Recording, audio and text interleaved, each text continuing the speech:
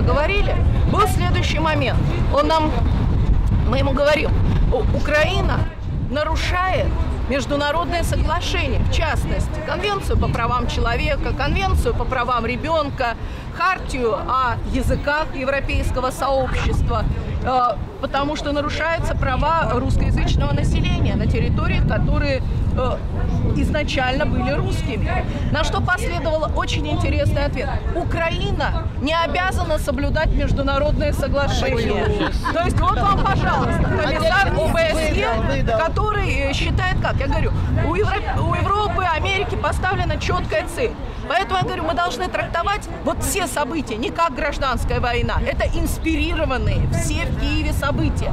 То есть это действительно интервенция и оккупация, которая в очередной раз предпринята против нашего народа. Как только мы это разворачиваем вот в эту плоскость, все встает на свои места. Тогда мы действительно с вами что? Национально-освободительное противостояние, движение. Мы против того, чтобы Европа управляла нами. У нас изначально во всем нашем движении заложена идея и понятие жизни. Потому что мы говорим защитить жизнь, защитить свой мир. И отсюда это совершенно две разные выстраиваемые, ну как бы сказать, конструкты, позиции. Поэтому мы защищаем свой мир. О чем еще можно говорить? Вчера мои студенты, э, студенты, они выросли уже в государстве Украина.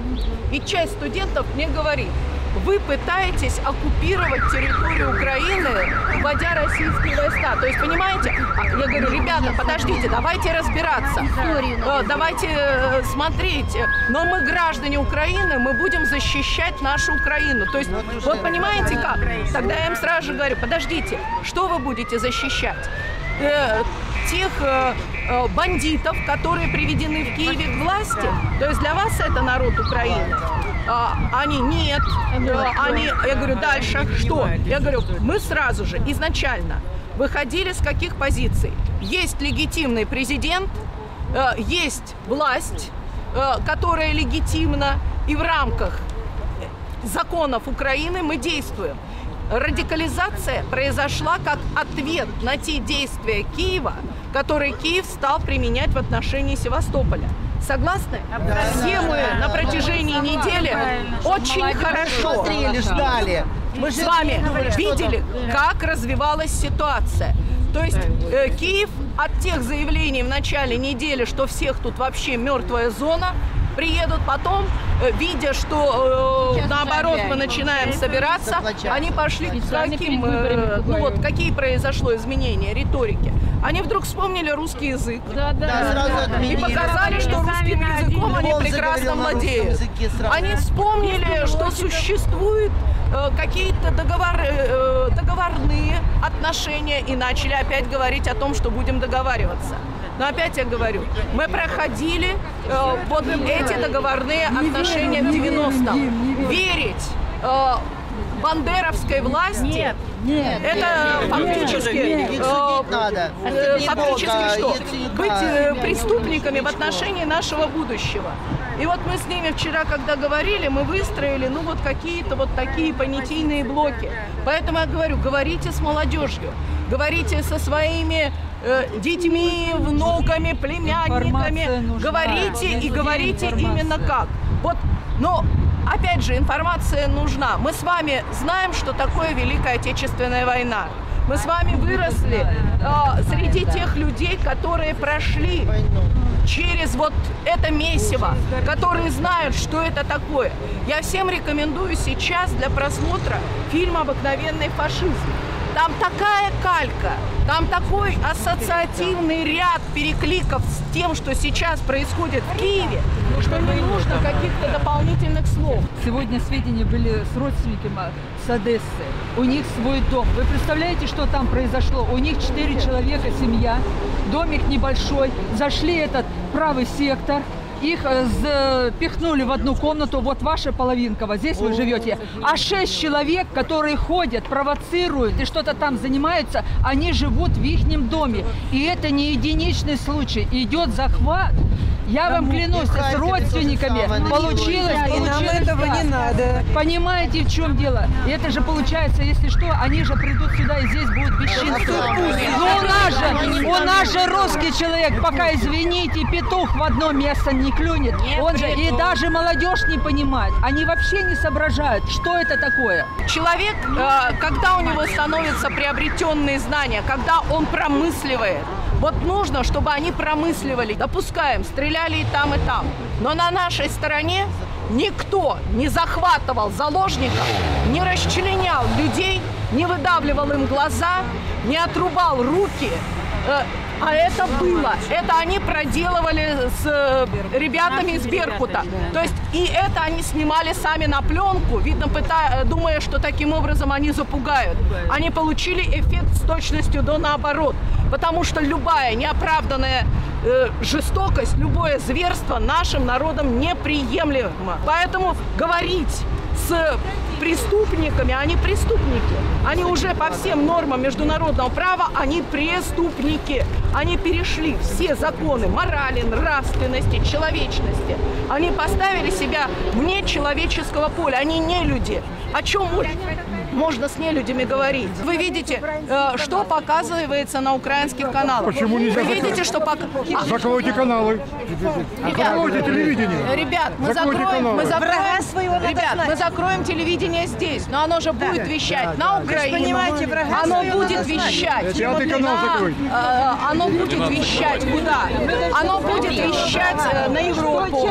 Нам не нужно закрывать. Просто я опять говорю, смотрите эти каналы не сердцем, а смотрите именно с позиции, где была ложь, как это выстраивается и как этому противостоять. Все, еще раз, вот вы видите, что мы каждый день пишем с чистого листа, потому что то одни сюрпризы, то другие. Готовы были еще неделю назад спокойно, планово работать. Начался прямой саботаж. Я еще раз говорю, радикализация настроения Севастополя и Крыма – это ответ на те действия, тех экстремистских сил, которые захватили власть в Киеве. И ответ фактически на то иностранное вмешательство, которое произошло э, э, в государстве Украина. Вот что мы видим? Э, а- определенная трактовка идет американских журналистов, определенная трактовка европейских журналистов. События искажаются. Как нам защищаться? Вот мы настаиваем на то, что должен быть создан, а, пресс-центр, чтобы вы проходили аккредитацию всех, кто работает на территории Севастополя. Мы должны жители города знать, кто у нас работает и какие вопросы поднимает. Обращение жителей Севастополя и Крыма к военнослужащим Украины от 5 марта 2014 года. Военнослужащие Украины, вы присягали на верность народу Украины, а не киевской фашистско-бандеровской власти продажных чиновников и олигархов. Не поддавайтесь на провокационные призывы прозападных э, средств массовой информации. Дайте возможность спокойно и свободно многонациональному народу Крыма и Севастополя выразить свою волю на референдуме. Защитите от бандитов право сектора своих детей, жен, матерей, братьев и сестер. Поддержите законную власть народного доверия Крыма и Севастополя. Жены военнослужащих Украины, не дайте возможность киевской так называемой власти втянуть ваших мужей в кровопролитный мятеж против своего народа. Понимаете, сейчас такое время, что сейчас идут провокации у всех воинских частей, значит, подстрекают людей, кто там служит, прийти к воинским частям и устроить как бы стычку, войти в плотное соприкосновение с силами нашей самообороны, которые блокируют эти части.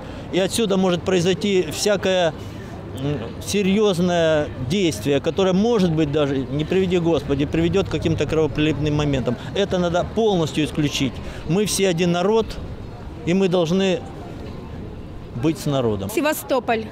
русский Севастополь, гордый Севастополь, всякий здравомыслящий, вставай. Под покровом ночи воронье, как нечисть, окружает благодатный край. Лезет плесень седая, выбравшись из хрона, ненависти западной полна. Третья оборона, третья оборона, поднимайся, русская волна. Здесь над нами реет триколор российский. Был и Украины, но не Бендеры стяг. Город славы русской не сдадим нацистам. Стань со мною рядом, кто бесчинству враг. Киев, Львов в осаде, Винница, Тернополь. Под пятой фашистов Ивано-Франковск. Но мы твердо знаем, русский Севастополь недоступным, недоступным будет вечно для врагов. Русский Севастополь, гордый Севастополь, всякий здравомыслящий вставай. Под покровом ночи воронье, как нечисть, окружает благодатный край. Э, Семенов Владимир Александрович, инициатор проекта «Вместе пишем историю Севастополя», в рамках которого создается на 11-й береговой батарее на мысе Хрустальной Народный музей обороны Севастополя 41-42 года. А Музей создается все еще, но кое-какая экспозиция там есть.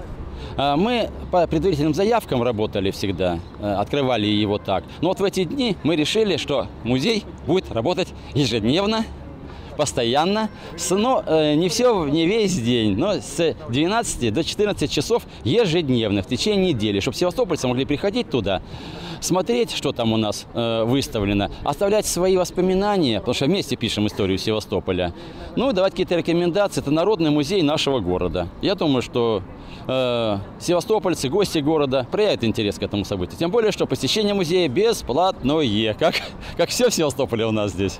Телеканал «Украина» приехал снимать репортаж о Севастополе. Привез с собой подставное лицо. Вот. И э, походил, ну, ходил среди людей, общался с людьми. Вот. И когда не услышал то, что хотели услышать, то есть наши люди там за Россию, за Севастополь, за свободу, э, а им это было не нужно. Они отошли немножечко в сторону и своего привезенного Али- с Ивано-Франковска начали опрашивать. Когда я подошел спросить у них аккредитацию, то услышал, как он на украинском языке говорил, что в Севастополе преследуют украинцев, что не дают ему разговаривать на украинском, что ему мешает российский флот. Когда я сделал ему замечание, попросил показать мне документы, так как я являюсь официальным представителем охранного, охранной фирмы «Бизон», вот, он отказался. Мне пришлось вызвать работников милиции и передать его э, им. Вот. э, по- по- После этого репортер телеканала «Украина» вот, начал разговаривать со мной на украинском языке и сказал, что тебе не нравится. Я говорю, мне все равно, на каком языке вы разговариваете. У нас тут все люди равны в Севастополе, в Крыму. У нас живут татары, евреи, греки, там, армяне, все. Мы все здесь дружим, все нормально общаемся. И за то, что я сорвал репортаж, она сказала, что объявит меня врагом телеканала Украины. Что она и сделала. Она разнесла весь по СМИ, что я являюсь бандитом, вот, преступником, экстремистом. Вот, ну вот, вот так вот у нас тут происходит почти каждый день. Итальянское телевидение, немецкое телевидение очень сильно, даже нидерландское телевидение записывает то, что они хотят.